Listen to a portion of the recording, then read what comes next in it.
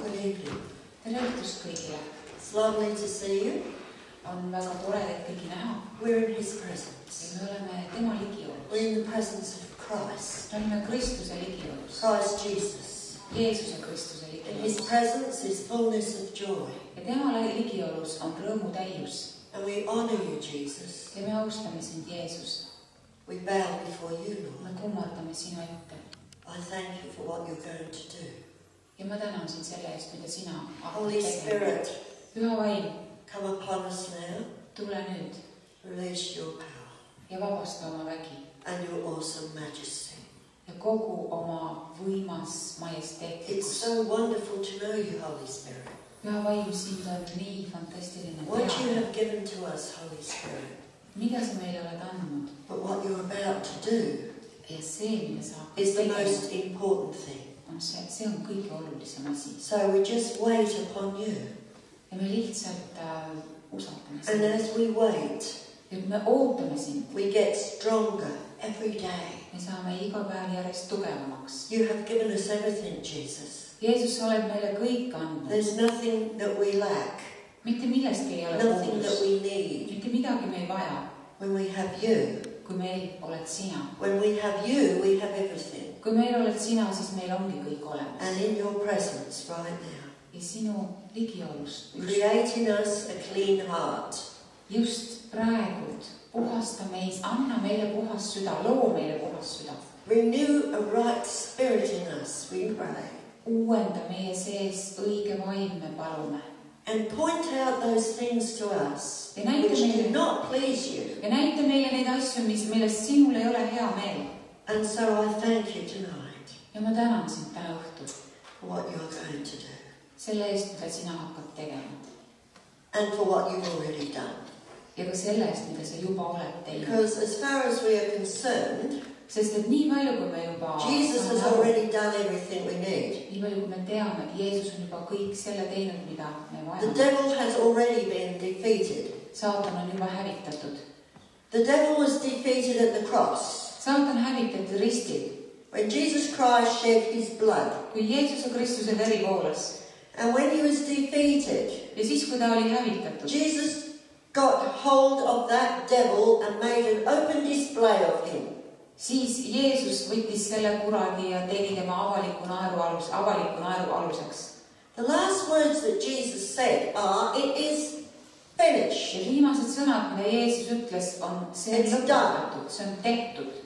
And then he got hold of that devil ja siis ta võttis sellest kuradist kinni and put him under his feet. ja pani ta oma jalge alla, That's where he is now, seal, kus ta praegugi on, under your feet. sinu jalge peal.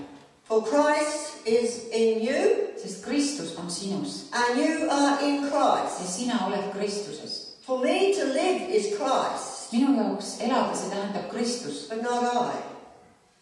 aga mitte, It's not I. For I no longer live. sest see ei mina, sest mina enam ei ela. I was crucified with Christ minagi, mina olen risti Do you understand? Kristusega, saate te aru sellest? because in that crucifixion, sest selles ristimises our flesh was nailed to the cross. meie liha löödi ka risti, ristile. So we do not walk in the s- flesh, we walk in the spirit, seega me ei kõnni mitte lihas, vaid me käime vaimus. not minding the things of the flesh. me ei vaata liha tegudele And the Holy Spirit reveals this to us. ja püha vaim ilmutab seda meile. And as you receive it right now, ja kui me nüüd selle vastu võtame, you will grow up siis me kasvame and come to see who you are. ja siis me kasvame ja hakkame nägema, kes me tegelikult oleme. Who, who are you? kes sa oled? You are sons of God. Te olete Jumala pojad. Jesus Christ is the only begotten Son, Jeesus Kristus on Jumala ainusündinud poeg and He has all power. ja tema käes on All kogu vägi, kogu meelevald, But church, aga He kogudus, has given it to us. selle ta on andnud meile.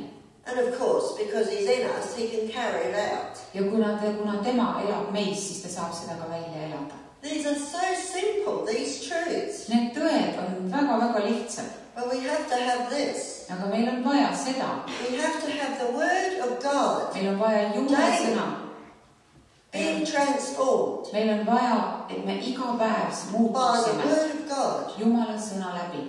This is what changes us. see on see, mis meid muudab, This. see, Not mere man, mitte mingisugune mina või inimene, because the Lord shows us the Holy Spirit is our teacher. sest issand näitab meile, püha vaim on meie õpetaja, You need no man teach you mitte keegi inimest because you have your teacher in you. inimene ei pea sind õpetama, sest sinu õpetaja elab sinu sees. You are part of God's university. sa oled Jumala ülikoolis And who is the professor? ja kes see professor on? The Holy Spirit. püha vaim And the Holy Spirit in you. ja püha vaim sinus. If anybody says to you, Do you go to university? kui keegi küsib su käest, et kas sa käid ülikoolis, You say, Yes, I sa do. ütled jaa, käin küll. Which university is that? millises ülikoolis sa siis käid? It's the university of the Lord God Almighty. see on kõige kõrgema Jumala ülikool. And who's your professor? ja kes su professor on? The great God, the Holy Spirit, our teacher, is our professor. suur Jumal, püha vaim on meie õpetaja ja professor. Let us get this right. et paneme need asjad ikka nagu õiget pidi. Who is ruling this planet? kes selle planeedi valitseja on? Lord Jesus Christ. issand Jeesus Kristus. He is ruling, He is reigning. tema valitseb And let's have a look at the Bible. ja vaatame nüüd It's piiblisse, all in here. see on kõik siin kirjas. Let us have a look at Ephesians. vaatame Efesuse kirja, Ephesians chapter 1, verse 19. Efesuse üks üheksateist. And what is the exceeding greatness of his power to usward, who believe, according to the working of his mighty power, which he wrought in Christ when he raised him from the dead, set him at his own right hand in the heavenly places. oli nineteen. 19 and 20. üheksateist ja kakskümmend, Efesuse üks, üheksateist ja kakskümmend. Ja milline on tema väe võrratu suurus meie heaks, kes me usume, et tema tugevuse ja jõu mõjul, see sai tegevaks Kristuses, kui ta tema üles äratas surnuist ja pani istuma oma paremale käele taevas. Far above all the principalities and powers and might and dominion, every name that's named, not only in this world, but also in that which is to come. ja salm kakskümmend üks, kõrgele üle iga valitsuse ja meelevalla ja väe ja ülemuse ning üle iga nime, mida nimetatakse mitte üksnes nüüdsel, vaid ka tulevasel ajastul Jesus Christ is above every principality, every power, every name that's named. Jeesus Kristus on üle iga valitsuse, iga meelevalla ja iga nime, mida me võime üldse nimetada. Jesus Christ is above President Trump. üle president Trumpi. Jesus Christ is above President Putin. Jeesus Kristus on üle Putini. Jesus Christ is above the Queen of England. Jeesus Kristus on kõrgem kui äh, Inglismaa kuninganna. Any kings, any queens, doesn't matter who they are. ükskõik milline kuningas, ükskõik milline kuninganna, vahet pole. Our God rules this planet, meie Jumal valitseb seda planeeti, including all the leaders that you have in Estonia. kaasa arvatud ka kõik juhid, kes teil siin Eestis on. Let us get this right. paneme nüüd asjad sirgeks. Now let's have a look at Ephesians chapter 2, verse 6. vaatame Efesuse kaks ja kuus And has raised us up together, made us sit together in the heavenly places in Christ Jesus. Efesuse kaks kuus ütleb ning on meid koos temaga üles äratanud ja asetanud taevasesse olukorda Kristuses Jeesuses. He's raised us up ta on meid, together, ta on meid koos made, us sit koos endaga üles Together. äratanud ja asetanud in heavenly places koos endaga because we are part of the body of Christ. taevastes olukordades istuma, sest meie oleme osa Kristuse ihust And we are in Christ. ja meie oleme So we Kristuses. are seated seega oleme me, on meid pandud Where is the istuma kingdom of heaven? koos Kristusega, kus on taeva kuningriik? The kingdom of heaven is within you. taeva kuningriik on sinu sees. Do you understand who you are? saad sa aru, kes sa oled? Because you are priests sina oled preester, and you're kings. sina oled There are no kuningas, queens. ei ole We kuningannas. can't call ourselves queens, girls. We're not. We're, pri- we're priests et and kings. vabandust, tüdrukud, me ei saa ennast kutsuda kuningannadeks, me oleme preestrid ja kuningad. Because within me sest minu is sees a spirit man, on vaim neither male or female. see vaim seal ei ole, olgu see mees või naissugu. On the outside is flesh, väljaspool, see on liha, male or female. olgu siis see mees või naissugu. There's neither Jew nor Greek, ei ole meil ei juuti ega kreeklast, bond or slave, ei ole meil vaba ega orja, male or female. meest või naist. We are all one in me Christ. oleme kõik üks Kristuses. That makes life easy see teeb elu päris lihtsaks, because everywhere he goes, sest ükskõik kuhu sa lähed, we go with him. me läheme koos We temaga. can't get away from him. me ei saa temast, me ei pääse I temast don't want to. ja ma ei tahagi It's the most amazing experience. sest see on kõige, kõige vapustavam kogemus. I can talk to him anytime. ma olen väga So palju, can you. So can you Yeah. Talk to him anytime. ja mina saan temaga iga kell rääkida ja ka sina saad temaga iga kell rääkida. When you're in the supermarket, sa võid olla kuskil kaubamajas, when you're in your home, sa võid olla oma kodus, wherever you are, ükskõik kus sa oled, we talk to him. me räägime Have a temaga. good conversation, meil on päris hea vestlus, a good relationship meil on meil on head suhted temaga And it's all coming out of the Word of God. ja see kõik tuleb välja Jumala sõnast. Very easy to read, väga lihtne lugeda, not difficult, ei ole raske, because we have Holy Spirit, sest meil on püha vaim, our teacher, meie our õpetaja, friend, our comforter, meie lohutaja, the one who loves you. see, kes sind And armastab he's always going to love you. ja kes alati He will armastab always be with you, ta on alati sinuga. Even to the end of the world. maailma lõpuni. Don't let your heart be troubled. ärgu sinu süda muretsegu healthy people on the me planet. peame olema planeedi kõige tervislikumad inimesed, Because by the stripes of Jesus Christ, sest Jeesuse Kristuse vermete läbi we were healed. me oleme terveks saanud. He's taken every sickness, every disease. see ütleb, see, see räägib igasugusest haigusest, iga This was accomplished at the cross. ja see oli juba lõpetatud ristil. So we now realize nii et nüüd me saame aru, there's something very great see on midagi väga suurt about this great God, ja selle, selle, selles Jumalas, selles vapustavas, Jesus Christ. vapustavas isikus, meie issandas Jeesuses Kristuses on midagi väga-väga I've known Jesus since I was three year old. I have known Jesus since I was three, year ma olen old. Jeesust tundnud sellest ajast saadik, kui mina olin kolmeaastane. I've known him all my life. terve minu elu. One day a demon came to me ühel päeval tuli teemon, at the age of five, kui ma olin viieaastane and this demon appeared. ja siis ta ilmus. I said to him, ma ütlesin talle, You can't touch me, sina mind, mind küll but puudutada ei saa, Jesus is with me, sest Jeesus on minuga. so you better go. kuule, lase jalga. And guess where I first started going to church?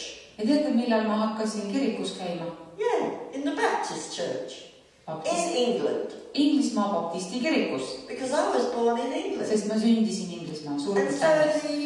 uh, I was put part of the Baptist church, ja ma kasvasin üles baptisti kirikus and the Baptist church, I loved it. ja mulle meeldis see I väga. loved at the age of six kuni go down the road and go to church on my own mulle meeldis kuueaastaselt niimoodi tipa-tapa mööda teed kirikusse minna, because I met Jesus. Sest ma kohtus, ma olin, ma olin Jeesusega kohtunud.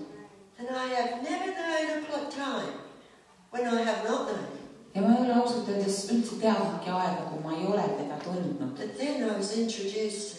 Aga siis mulle näidati, tutvustati sellega, selle vapustava ja väelise raamatuga, püha piibliga. And of course, ja muidugi I had to learn so much ma pidin väga palju õppima this amazing book. sellest vapustavast raamatust. It fills our minds, see täidab, see ways, täidab meie meeled, see muudab meie eluviisi we come into a much stronger, powerful work. ja, ja meie saame palju-palju tugevamaks oma töös. you're all called to minister. Te kõik olete You are kutsutud teenima, te olete teenijad. kõik, igaüks teist on kutsutud teenima And when you go out in the ja kui sa lähed mööda tänavat, see on põnev, mine välja, kuuluta With the evangeeliumi, signs and wonders and miracles following you. imed, tunnustähed järgivad sind. Ühel päeval. I was in the supermarket. olin ka mina toidupoes, ostsin seal oma asju kokku. I went to the cashier, ja siis läksin kassasse, put my things on the counter. panin siis sinna sellele lindile oma asjad, There were other people. teised inimesed olid ka rivis järjekorras minu järel. So I got to the girl. siis ma jõudsin selle tüdruku She juurde said to me, ja tema ütles mulle, she said, I have a headache. tüdruk ütles mulle, mul pea valutab. I said, you're not going to have a headache soon. ma ütlesin, kuule, varsti sul ei ole seda enam. She said, what do you mean? mis, mida sa mõtled I said, I'm a Christian. ma ütlesin, kuule, ma olen kristlane. Can I pray for you? kas ma võin su eest palvetada She? says, yeah, ta ütleb, okei okay., kui sa tahad. So all these people watching, ja siis kõik need inimesed seal loudly, vaatasid, mina ütlesin my väga, hand on her head. ma ütlesin väga kõva häälega, I panin, said, in the name of ma Jesus. panin käed pea peale, ütlesin, et Jeesuse nimel ole terve. And she swaying around. ja siis ta nagu läks vähe uimaseks, seal tuikuma lõi. I keep thinking, please Jesus, mina don't let her go palun, palun Jeesus, down. ära nüüd lase tal maha kukkuda. And she didn't. ja ta ei kukkunud, Because if she had, sest kui ta oleks kukkunud, maybe the security guard would have come over and wondered what I did to her. võib-olla oleks turvamees tulnud küsinud, mõelnud, et ei tea, mis ta nagu tegi talle. Finally, she opens her eyes. ja siis ta tõstis oma, tegi oma silmad lõpuks lahti ja ütles, She said, Are you a Roman Catholic? Ja küsis, et kas sa oled Rooma katolik. I said, No, ma ütlesin, ei ole, I'm a Christian. ma olen kristlane. She said, My parents are Roman ta ütles, Catholics. minu vanemad on Rooma katoliiklased. I said, Well, and then I explained a bit of ja siis Catholicism ma ütlesin, no vaata, ja siis ma rääkisin talle natuke erinevatest, erinevatest. I said, You don't need a man religion. ütlesin, kuule, sul ei ole vaja You need to know sul ei ole Jesus. vaja inimeste religiooni, sul on vaja Jeesust tunda. ta ütles, aa. And then I said to her, Well, ja ma ütlesin talle, no what are you? mis sina oled, Who are you? kes sina oled? She said, I'm a Christian ja tema ütles, mina olen ka kristlane, because her headache had gone. sest peavalu oli läinud. You understand this is a witness to her, a witness to those people, saate aru, see oli tunnistus temale ja tunnistus nendele inimestele seal järjekorras. and she received. ja ta võttis vastu, Wherever you go, kuhu sa iganes lähed, whatever you do, mida iganes teed, ask the Holy Spirit to show you, palu, et püha vaim näitaks sulle and He will show you ja ta näitab sulle. everything you need to know. ta näitab sulle kõike, mida sa pead teadma. What we're going to do now, mida me siis nüüd we're? going to look in the Word. vaatame sõna, We're going to look at Isaiah 6, vaatame chapter 6, and verse 1. Isaiah Jesaja 6 and verse 1.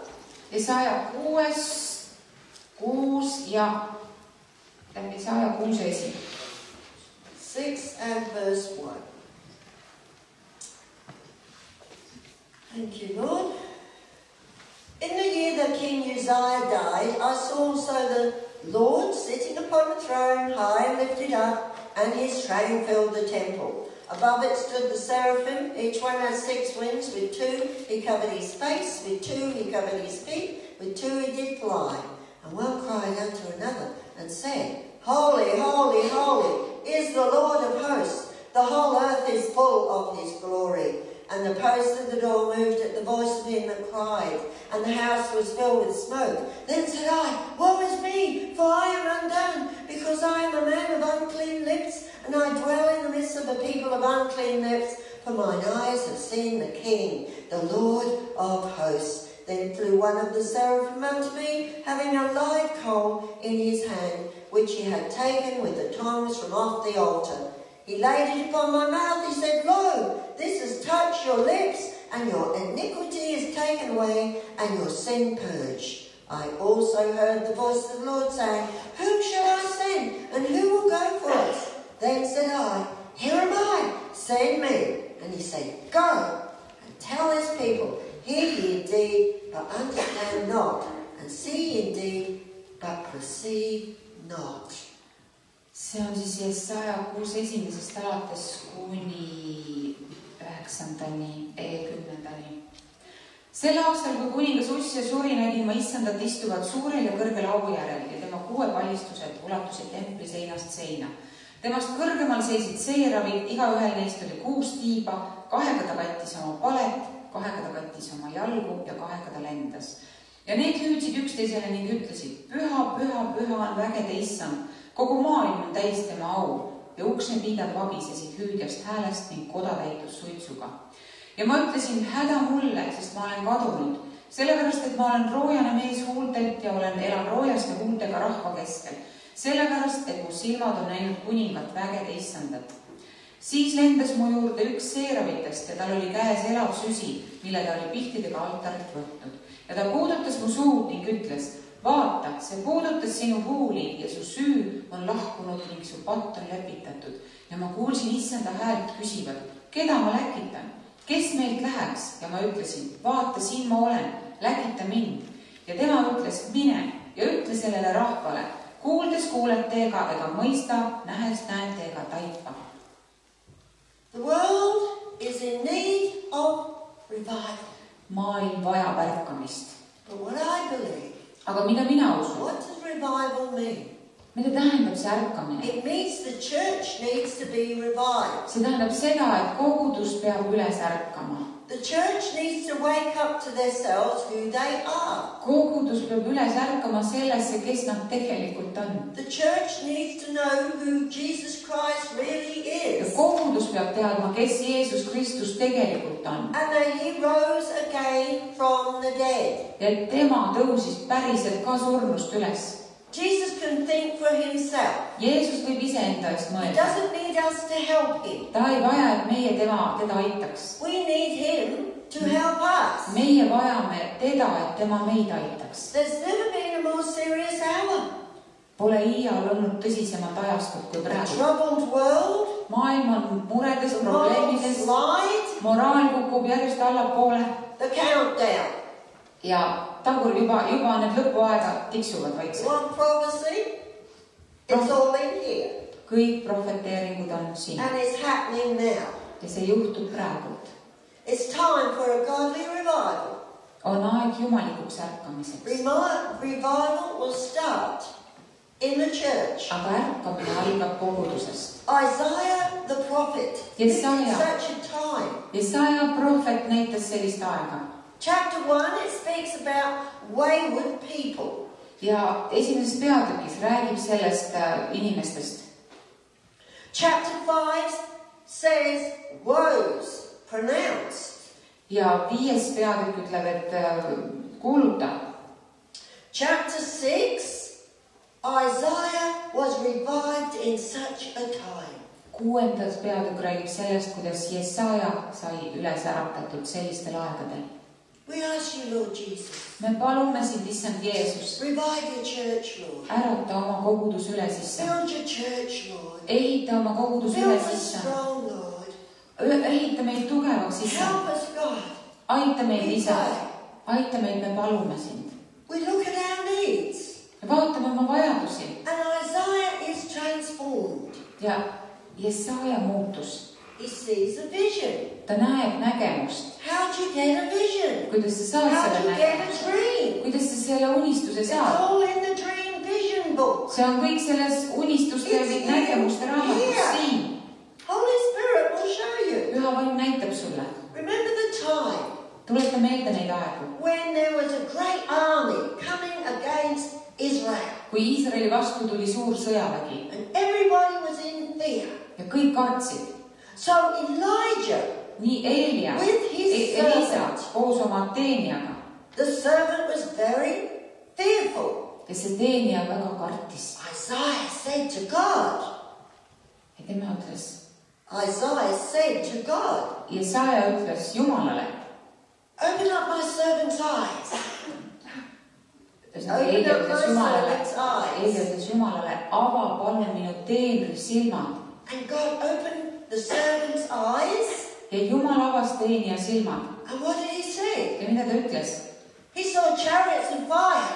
ta He nägi, saw angels. ta nägi ingleid ja tulevankreid And then he said ja siis ta to ütles the servant, sellele teenijale, There are more of us meid on rohkem, of meid on rohkem kui neid. Remember in these coming times, pidage meeles nendel aegadel, mis on I tulemas. would warn you ma hoiataks about teid, the New World Order government. ma hoiataks teid selle uue maailma ajastu valitsuse eest, They have great armies. suured sõjaväed. Don't think they're for us. They are not for us. aga need ei ole meie jaoks, They are against nad us. on meie vastu. I would say, mina ütleks, if you really have studied what your world is about, kui te tegelikult olete aru you saanud, will start to have a realization millest of something which God is about to do. kui te olete sõna uurinud, siis te hakkate aru saama millestki, mida Jumal hakkab just nüüd tegema. What is He about to do? mida ta siis hakkab He's tegema? about to come back to the planet. ta tuleb tagasi varsti He's siia getting ready, planeedile. church. ta tuleb, ta tuleb, Jesus Christ is Kogudus. returning to this planet very soon. kogudus peab olema valmis, Jeesus Kristus naaseb sellele planeedile varsti. And the only place you will find this ja ainult, ainus koht, kus sa seda leiad, is in the book of Revelation. on ilmutuse raamatus. Within that great book. Selles raamatus, Do you understand what I'm saying sa today? saate aru, mida ma tahan täna öelda? olgu nüüd natukene Get põnev las- excited! Get põnev, excited about who you are! et olge põnevil sellest, kes, kes te olete, kes Christ! sa oled Kristuses And are we? Kas me oleme valmis. Yes, church. jah, kogudus, You're going to be ready. te peate valmis saama. Just the same as uh, Ezekiel, as Isaiah. täpselt nii nagu Hesekiel või Jesaja, Just the same as Elijah prepared the servant. täpselt nii nagu Eelia valmistas oma teenijat ette. Ask the Lord to show you angels. palu, et Jumal näitaks sulle, kes su ümber on, neid ingleid, kes su ümber on. Angels are all around us. inglid kaitsevad meid igal pool ümber meie, igal pool on hosts. Jumala taevased väed And there are demons. ja on ka teemonid, But we are in control. aga meie In the kontrollime name of Jesus Jeesuse nimel, over every demon because the demons already are defeated. Jeesuse Kristuse nimel on meil kontroll iga teemoni üle, sest et nad on juba häbi, nad on juba võidetud. Jesus Christ is Lord. Jeesus Kristus on issand, Jesus Christ Jeesus Kristus, ta on seda juba teinud. We just have to listen to Holy me Spirit. peame lihtsalt püha vaimu kuulama. When Uzziah died, a great and powerful king, ja siis, kui kuningas Ussia suri, suur ja võimas kuningas, Isaiah had a vision. Jesajal oli see nägemus, Who did he see? keda ta siis He nägi? saw the King of ta Kings. nägi kuningate He saw kuningat. none other than the Lord Jesus Christ. ta ei nägi mitte kedagi teist kui Jeesus Kristust. That's our King. see on meie kuningas, That's our God. see on meie Jumal, He is almighty. He is all powerful. Ta on kõikvõimas, He is majestic. ta on is kuningas, splendid. ta on, is sitting on a throne. tema istub troonil oma auhiilguses, ta exalted. on kõrge ja kõrgeks tõstetud And his throne rules over all. ja tema troon valitseb üle up. vaadake üles, See him. näed, vaadake teda, High and lifted up. ta on kõrgeks tõstetud ja kogu tema au täit-, täidab templi. You're the temple of God. Teie olete Jumala And the tempel Holy Spirit is within you. ja püha vaim on sinu And sees greater is he in you than he that's in the world. ja suurem on see, kes on sinu sees, kui see, kes on maailmas. His throne is ruling this planet. tema troon valitseb sellel planeedil. Isaiah now is unable to look at Uzziah. Jesaja ütleb, et no vaata nüüd sina siis sinu issi. He finds out what God is really like. siin ta õpib tundma, mida Jumal, kes Jumal tegelikult on, What is God like? milline on Jumal. The Holy Spirit püha vaim, can be everywhere. püha vaim on igal pool. We can only be one place at a time. meie saame ükskord ühes kohas olla korraga ainult. Demons can only be one place at a time. ka teemonid saavad olla korraga ainult ühes kohas. And you, in the name of Jesus, aga sina have Jeesuse nimel authority. ja sinul Jeesuse nimel on meelevald. All you have to do ainus asi, is mida sa come against those devils ainus asi, mida sa pead tegema, on vastu hakkama the nendele Christ. ja nende meelevald, nende väe maha välja, läbi lõikama Jeesuse Kristuse nimel. God says, Jumal ütleb nõnda, Not by might nor power, but by my spirit, says the Lord., issand ütleb mitte väe ega võimu läbi, vaid minu vaimu läbi, nõnda räägib What issand. is God like? milline on Jumal? He's omnipotent, all powerful. ta on kõikvõimas, He's omniscient. He is all knowing. ta on kõiketeadja, He's omnipresent. Ta on pidevalt is everywhere. meie juures ja igal pool. God is eternal. Jumal on igavene. I believe you are receiving this. ma usun, et teile jõuab midagi pärane. Ma eyes. usun, et püha vaim avab silmi, Your eyes to see, your ears to teie hear. silmad näha, teie kõrvad kuulda, Because you understand. sest te saate aru Jesus said, My sheep hear my voice. Jeesus ütles, et minu lambad kuulevad minu häält And you can hear the voice of Jesus. ja te kuulete Jeesuse häält, That's if you're his sheep. et sest meie oleme need If you lambad, are, and et kui sa oled see you are, lammas ja ma usun, et sa oled see lammas, listen to his voice. siis kuula tema häält. Some people can't hear him. mõned inimesed ei suuda teda Do you know kuulata. tead miks? Because they need to clear their ears out with this. nad peavad oma kõrvad ära puhastama sellega. Do not just read it. ära lihtsalt loe seda. Faith comes by hearing. usk tuleb, Not by reading, but by hearing. Usk tuleb And kuulmisest. usk tuleb kuulmisest, mitte lugemisest ainult. You need to make a proclamation. sa pead kuulutama, Stand in your bedroom. seisa oma Stand in magamistoas, your garden. seisa oma aias, seisa seal it out. räägi seda välja, ütle välja ja see ei tule tühjalt tagasi, sest püha vaim võib vä- oma väega.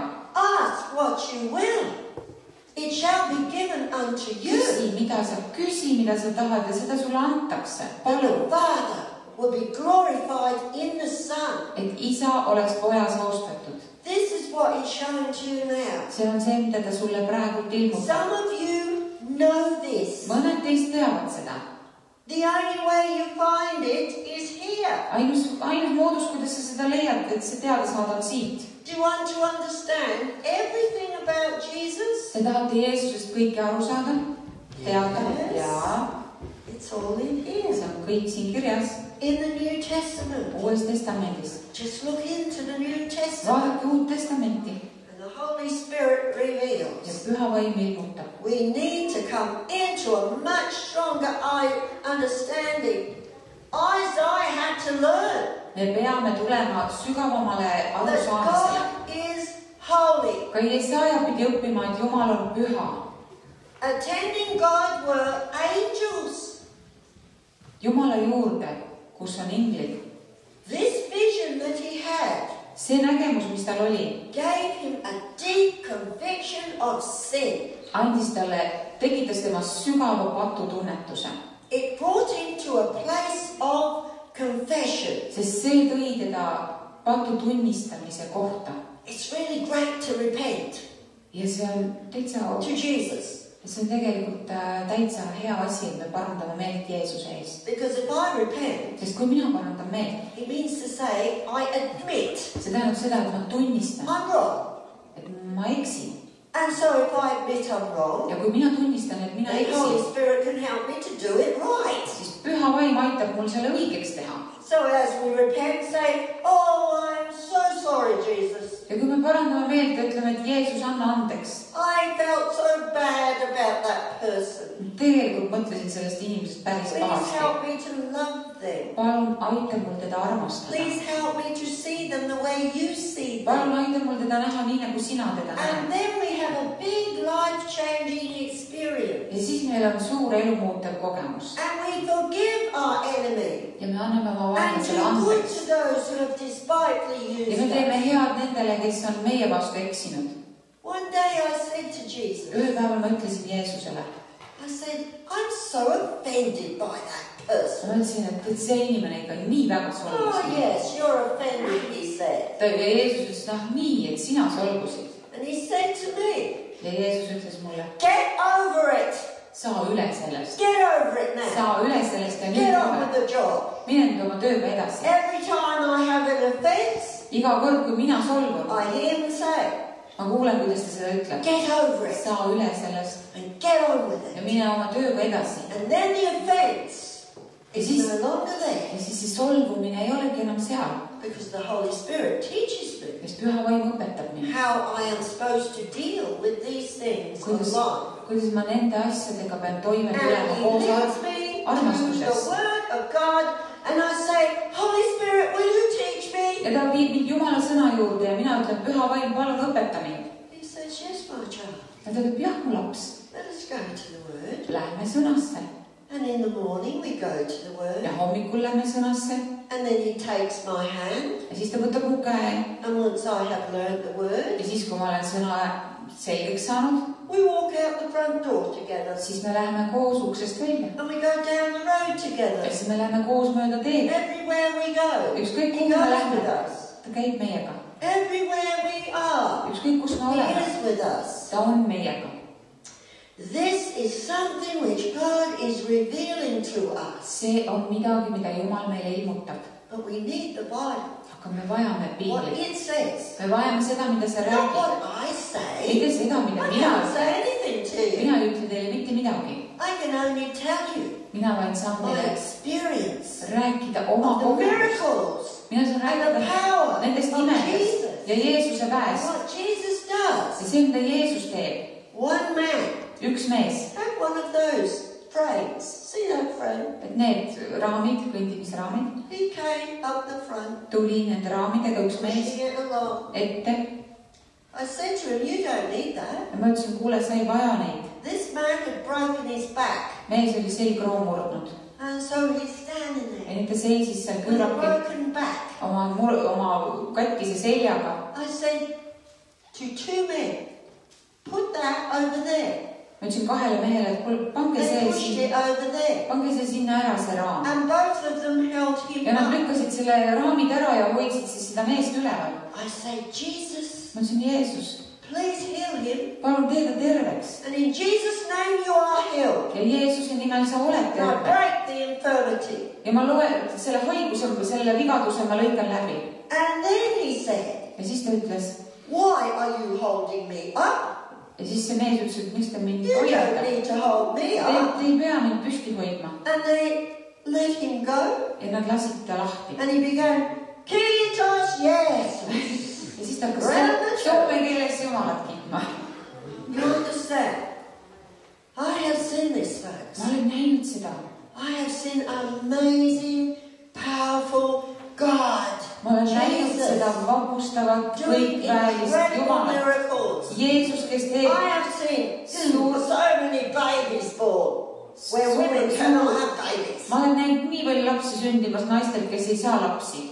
When I was in India kui ma Indias olin and I was doing a crusade, ja ma tegin oma siis seal krussaadi and all these ladies came up the front, all these Indian ja ladies. kõik need India naised tulid ette These Indian ladies had been ja sterilized. nad olid steriliseeritud ehk siis The reason why they sterilize them is because they say there's too many people in ja India., ja miks nad neid naisi steriliseerivad, ütlevad Indias on niigi palju inimesi juba When they sterilize them, ja kui nad neid steriliseerivad naisi, they give them some money. annavad neile raha selle eest These ladies became Christians. Ja need naised said nüüd usklikeks And kristlasteks so when they became Christians, ja kui nad kristlasteks they said, said, We want babies. nad ütlesid, et ma tahan last saada husbands were sitting up the back there. ja seal kuskil nende abikaasad istusid taga, These ladies came to the front. naised tulid ette I said, In the name of Jesus, you are all pregnant. ja ma ütlesin, et Jeesuse nimel te olete kõik rasedad. To open up their wombs. mõtlesin, et ja Jeesus, palun ava nende, all going to have babies. ava nende emakodadel, kõigil saavad olema lapsed. And some of them under the power. mõned kukkusid pühavaimu ajal kohvikali, mõned jäid püsti Pastor Praben's sister-in-law also could not have a baby for nine years. ja ka pastori äh, vennanaine ei saanud, jah, vennanaine ei saanud, how many years? I prayed for ühesõnaga saanud too. ka I prayed for lapsi her., palvetasin ka tema eest. My husband and I et minu abikaasa we go back to Australia. et meie siis läksime Austraaliasse tagasi. One day, ühel päeval Pastor Craven came on the phone pastor helistab mulle and he said ja ütleb, they're all pregnant. kuule, nad on kõik rasedad. Praise the Lord. Thank you, Jesus. kiitus Jumalale. Do you understand? saate aru sellest? That was a mass miracle. see oli massime, And massiline ime Craven's sister-in-law was pregnant as well. ja past-, pastori vennaine ka oli rase. Do you understand? saate aru sellest? So simple. see on nii lihtne. Why? miks? Because Jesus Christ is our healer. sest Jeesus Kristus on meie terve. Everything comes out of Him. kõik tuleb temast. We don't have to play around with the occult. me ei pea mingisuguse not ringi.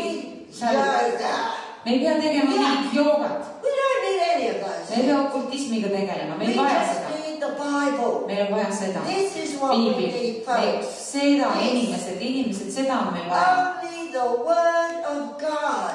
ainult Jumala sõna ainult Jumala sõna. Being transformed by the renewing of our mind. et me saaksime muudetud oma, meie meeled saaksid muudetud selle läbi. Meelte uuendamise teel, läbi is selle, acceptable to God. Läbi selle, mis on Jumalale vastuvõetav. Bringing every thought captive me toome iga mõtte into obedience Kristuse sõna to the kuulelikkuse Lord alla. Jesus Christ. To the Lord Jesus Christ. Kristuse sõna kuulelikkuse Do alla. you understand? saate aru sellest?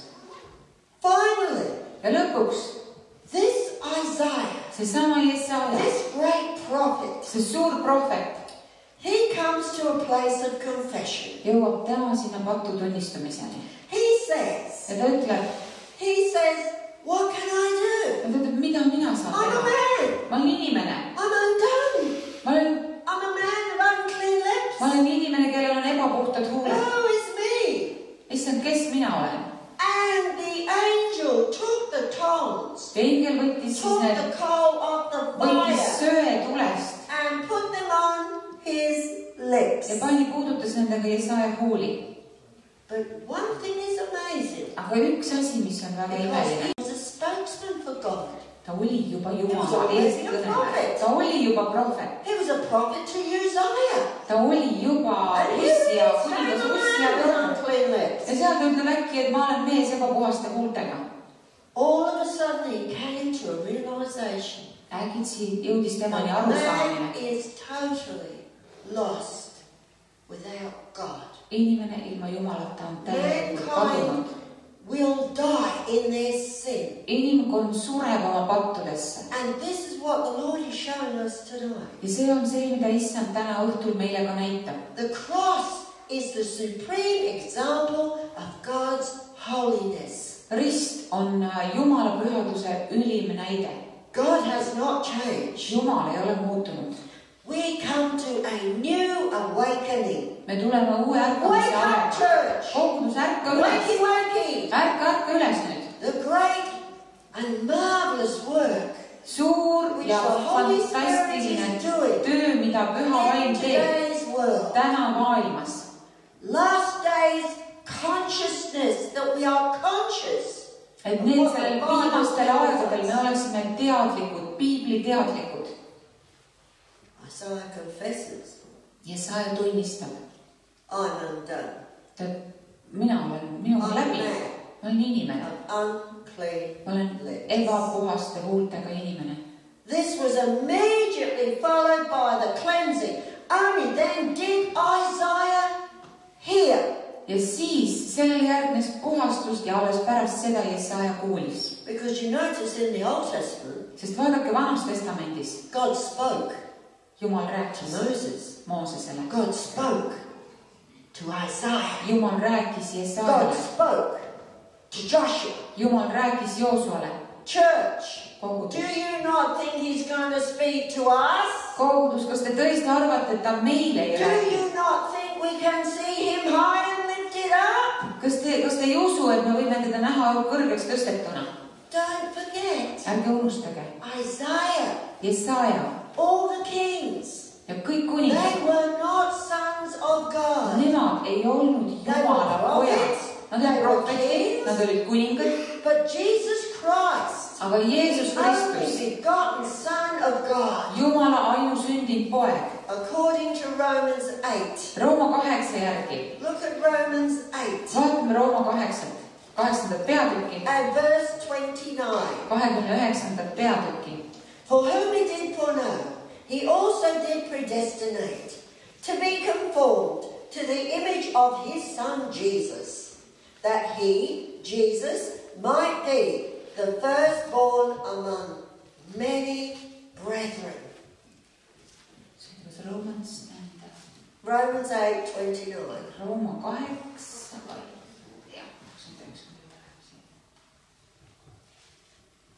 nii, Rooma kaheksa, kakskümmend üheksa. sest need, keda ta on ette ära tundnud, need on ta ka ette määranud saama tema poja näo sarnaseks, et tema oleks esmasündinu paljude vendade seas. In verse 14 it says, neljateistkümnendas salmis, For as many as are led by the Spirit of God, they are the poikers of God.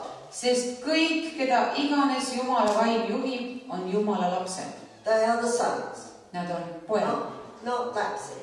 ahah, see No, on see. this says sons. Jumala pojad. Sorry, but this is the old King James. palun vabandust, see on vana King Jamesi versioon seriously believe ja ma tõsiselt if you usun, are a child, kui sina oled laps, you're going to do childish things. siis sa teed lapsikuid asju. If you are a son, kui sa oled poeg, you are being trained siis sind valmistatakse ette, koolitatakse, et valitseda koos Kristusega. Lord Jesus Christ comes back, ja nendel päevadel, kui, kui Jeesus Kristus tagasi tuleb, we're coming back with him. meie tuleme tagasi koos temaga. That's what it tells me. see on see, mida see ütleb Because the mulle. dead in Christ shall rise. sest ka Kristuse surnud that üles ja meie, kes me oleme elus, meid tõmmatakse, tõmmatakse üles koos issandaga. Get ready, church. olge valmis ready? kuidas me valmis saame? kuidas? Ask Holy Spirit to show you what I have been saying. küsi, et püha vaim sulle ilmutaks selle kohta, mida ma olen rääkinud, sellest raamatust every day, iga päev. speak it out. räägi seda välja, Speak it over your children. räägi seda välja oma lastele Make. sure that they know the Word of God tee kindlaks, et nemad Jumala sõna is teavad, their first language. et Jumala sõna oleks nende The esimene Bible keel, is a language. sest piibel on keel, First language, esimene keel, God's Word. Jumala sõna, Second language, teine keel, Estonian. eesti keel. You need to take your child sa pead oma lapse, pead, sa pead oma, first in the womb and speak life. sa pead oma lapse võtma the Word of God to them. ja rääkima talle Jumala sõna And they will grow up knowing the Bible. ja nii nad kasvavad üles piiblit tundes. Thank you, Jesus. aitäh sulle, Jeesus, Like I did. nii nagu mina Like tegin I do. ja mida ma teen Baptist church. tagasi. Because I came out of Baptist. Seal baptisti kogudus, sest mina tulin I välja well. mina olen kasvanud baptismi koguduses ja olen õppinud oma õppetunnid. My father was an atheist. minu isa oli ateist My mother was a non-practicing Roman Catholic. ja minu ema oli siis mitte praktiseeriv ehk äh, mitteaktiivne Rooma katoliiklane. They didn't go to the Baptist Nemad ei käinud baptisti kirikus, aga mina käisin at the age of six. kuueaastaselt juba I went to school when I was three. ja ma käisin, läksin juba kolmeaastaselt kooli. That was the Church of England. see oli äh, Inglise kiriku all, I come from England.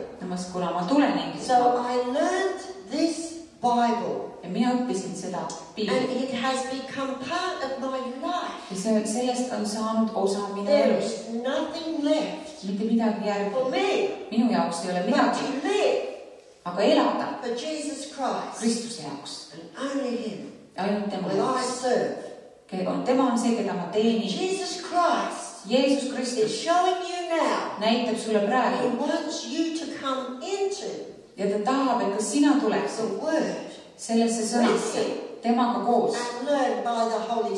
ja pühavaimu juhatusel õpiksid seal And joy fills your heart. ja nõnda rõõm hakkab su südant täitma. ja Jumala you sõna have your part sinul on oma roll täita As you wait upon the Lord, ja kui sa ootad the eagle. siis sinu iga uueneb nagu kotkal. You will not grow faint nor weary. Sa ei, sa ei You will väsi, mount up like an eagle, sa ei kuku kokku ega väsi sa tõused üles nagu kotka, kotkas tiibade peal ja rõõm täidab sinu südame. In this army, ja selles armees you have your part. sul on oma koht. It's an army of love. see on armastuse sõjavägi. Isaiah, the great prophet, Jesaja, see suur prohvet, came to the understanding tuli the jõudis arusaamisele, kui see süsi tema huuli puudutas and he had to ja confess ta pidi tunnistama the lordship of the Lord Jesus Christ. issanda Jeesuse Kristuse valitsemist. I remember one time ükskord ma mäletan, I was in a meeting mina olin koosolekul and this lady was preaching ja siis rääkis üks naine and she was preaching on Isaiah. ja ka tema rääkis Jesajast And before she started preaching, ja enne kui ta hakkas jul- she jutustama, called four of us to come up the front. ta kutsus neli inimest meie seast siis ette, I went up the front. ka mina tulin ette. She laid her hands on me. ta pani oma käe mulle peale She said, In the name of ja ta Jesus. ütles Jeesuse nimel And then spoke a prophecy. ja siis ta profeteeris mulle Down I went ja siis ma kukkusin mataki. under the power of the Holy püha Spirit. vaimu väega laksti maha kohe And as I lay there, ja siis, kui ma seal lebasin, all through her sermon, lebasin seal she was speaking about ajal Isaiah ja naine, see naine chapter rääkis 6. Jesaja kuuendast peatükist. And when she said ja siis, kui ta ütles kui ta rääkis sellest söest, across Isaiah's lips, see süsi, millega Jesaja huuli puudutati, Mina sain nägemuse, I was watching ma vaatasin, because when the Baptist taught me sest kui baptistid mind õpetasid seda piiblit, I could see. Ma võisin Holy näha, Spirit was showing me visions. püha vaim näitas mulle And when I nägemusi saw this vision ja kui ma nüüd seda nägemust of the nägin, coal sellest söest, going across his mis lips, tuleb, tuli tema huulte vastu, the, co- the angel came to me siis tuli ingel minule juurde ja võttis selle söe placed on my lips. ja pani minu huulte peale And I felt it. ja ma tundsin seda And I laid there ja ma lamasin seal the whole of the service. terve selle teenistuse aja When I finally get up, ja kui ma seal lõpuks püsti tõusin, I had a blister mul oli vill huule on peal, my lip. vill oli nagu huule peal, Seriously. päriselt ka. These are real things. Need on nagu, nagu are things need on asjad, which you might say, need on, but I don't see that. need on päris asjad In this room right now, ja siin, ka siin ruumis praegu you cannot see. on asjad, mida te ei näe. Through this room are going radio igasugused raadiolained käivad siit läbi, televisioonilained, telefonisignaalid, All kinds of things are going through this room. igasugused asjad vibreerivad siin, But you can't see them, aga me ei näe seda, but they are there. aga nad on siin. You ask the Lord, küsi Jumala käest, please God, open up my eyes, palun issand, ava mu silmad, eyes to see, ava mu silmad nägema, ava mu kõrvad kuulma, mu, minu huuled reach minu out, käed välja Jesus, ulatama, Jeesus touch the world with your love. ja Jeesus, et ma jõuaks välja, sirutaks välja maailma puudutama sinu armastusega. Let us pray. palvetame, Lord Jesus, we issand Jeesus, I thank you for your presence. ma tänan sind sinu ligiolu eest ja me austame sind. ja ma palun, issand, that you open up our eyes ava meie silmad, as you did your servant. nagu sa tegid oma I tee, thank you oma that teenijale. time ma tänan sind when the servant's eyes were open. ja ma tänan sind, kui selle teenija silmad avanesid. Open the eyes of our hearts, ava Lord. meie südamete silmad ka, Open our ears to hear ava meie kõrvad kuulma and our mouth to speak. ja ka meie suud rääkima. And I thank you, Jesus. Tänan sind, Help us, Jeesus, we pray, aita when we preach the kui gospel, me palvetame ja kui me kuulutame the signs evangeeliumi and wonders and miracles following. et imed ja tunnustähed järgiksid seda. Tonight I pray, Jesus, ja ma palun täna õhtul Jeesus, remember who we are. et me tuletaksime meelde, kes me oleme. In you, Lord Jesus Christ, sinus, issand Jeesus Kristus, in whom we live and move and have our being. kelles me elame ja liigume We ja pray, Lord, that you make our flesh life melt away. isa, ma palun, et meie lihane elu, meie lihalik elu sulaks ära, We can come no other way. et me võiksime teistmoodi. Take us deeper into you. vii meid sügavamale endasse, Make us like a precious stone, tee meid nagu selliseks väärtuslikuks, väärtuslikuks kiviks ja puhtaks, Your life, Jesus, shining through, et Jeesus sinu elu läbi meie säraks. anname sulle, anna sulle au. Sulle tagasi. We thank you, Jesus, me täname sind, Jeesus. And we glorify your holy name, majesty. ja me austame sinu püha worship your majesty. Ja sinu auhiilgust ja sinu aulikkust ja aulisust ja majesteetlikkust ja kuninglikkust me ülistame, issand. Reign in me. Reign in us. Heavenly Lord, reign in us. tule ja valitse meis. Captivate our hearts. võta meie süda enda kätte Establish there your throne. ja tee seal oma Let trooni. your kingdom come. tulgu sinu kuningriik, Let your will be done. sinu tahe sündigu, Reign in us, oh God. valitse meis, issand, Reign in us. valitse meis, Jumal. And we thank you tonight ja me täname täna õhtul, that we found a new way, et me oleme uue way of living. uue tee leidnud So we elamiseks. thank you, me Jesus. täname sind, Jeesus And we glorify you. ja me austame sind. Be glorified, Jesus. ole austatud, Jeesus, selles koguduses, issand, ole austatud, issand, nendes We are your inimestes. church, Lord. meie oleme sinu And kogudus, we issand, thank you for revival. ja me täname ärkamise Revive eest. us, oh God. ärata meid üles, From the Jumal, north to the south, to the east to the west. põhjast lõunasse, idast läände There is a revival on ärkamine in this tulemas land. sellel maal And we thank you, Lord ja Jesus. me täname sind, issand, We praise you me kiidame sind and thank you very ja much me täname sind for what you do. kõige eest, mida sina teed, But most of all, aga kõige rohkem it's who you are, selle eest, kes sina oled. sina kõikvõimas Jumal.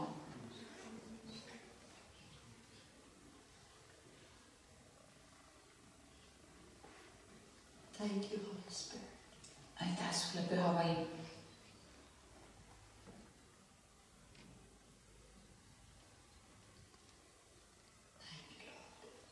aitäh sulle, issand,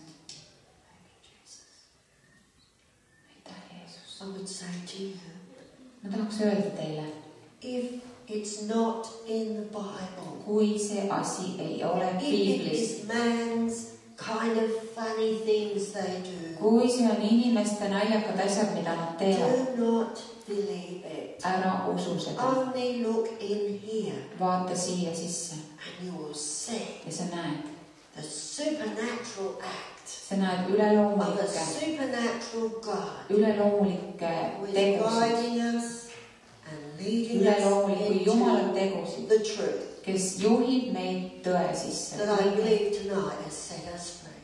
ja ma usun, et see tõde täna õhtul teeb meid vabaks ja me oleme vabad temas. So thank you, Jesus. aitäh, Jeesus. Now we come to a time of prayer. ja nüüd me jõuame palveaega. Those of you that would like prayer, Need, kes tahaks palvetada, those of you that have pain, eest palvet, kellel on mingi valu, kellel on mingi valu, tulge esimesena little children, kellel on väiksed lapsed, you may come. tulge teie ka esimesena. Not ones who have little children at home. mitte need, kellel lapsed kodus have väiksed, kellel, kes siin on väikeste lastega And then the rest of you are welcome. ja siis pärast on ka teised teretulnud.